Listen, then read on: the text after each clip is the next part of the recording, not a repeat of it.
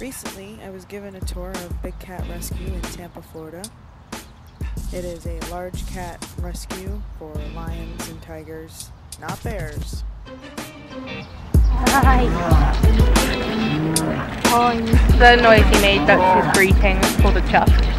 Um, so it's like a friendly, like a little smaller and a little lighter than some of our other cougars. Um, the spots on the leopard, his stripes go down to the skin. Um, and they're like the equivalent of our fingerprints, so nobody else can have the same like of. But I love you.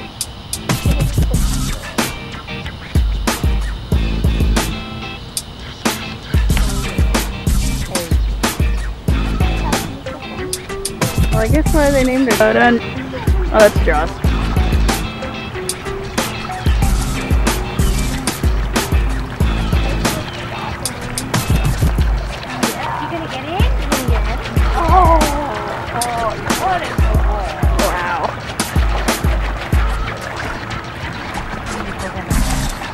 The tigers come from around 20 miles in a day.